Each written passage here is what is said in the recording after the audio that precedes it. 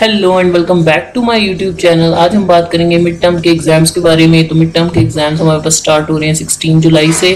तो I hope आप सबके एग्ज़ाम्स अच्छे और दूसरों के लिए भी दुआ करेंगे, उनके एग्ज़ाम्स भी अच्छे हों। तो मिड टर्म की प्रिपरेशन के लिए भी वीडियोस आएँगी चैनल के ऊपर। तो काइंडली चैनल को लाइक करें शेयर करें एंड सब्सक्राइब करें।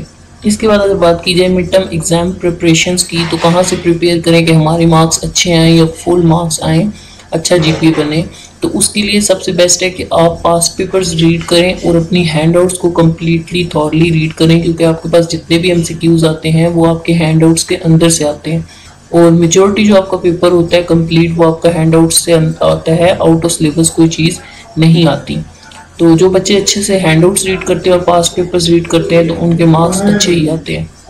बात करते हैं हम मिड टर्म की डेट शीट के बारे में। डेट शीट जब भी आपके पास अनाउंसमेंट आएगी तो चैनल पे एक वीडियो अपलोड हो जाएगी कि कैसे डेट शीट बनाते हैं। जो न्यू स्टूडेंट्स हैं, उनको ये नहीं पता कि आप डेट शीट कैसे बनानी होती है तो उसके लिए एक कंप्लीट वीडियो आएगी। तो काइंडली आपने चैनल को सब्सक्राइब करना है ताकि आपके पास वो वीडियो पहुँचे। जिन स्टूडेंट्स ने क्विजेस नहीं दिए असाइनमेंट्स नहीं दी या जी नहीं दिए तो उन्होंने परेशान नहीं होना कि कहीं वो मिड टर्म में फेल तो नहीं हो जाएँगे। आपके पास इन सब चीज़ों के मार्क्स तो ऐड होते हैं, पर अगर आप अपना मिड टर्म अच्छा देंगे तो इनशाला आप फेल नहीं होंगे।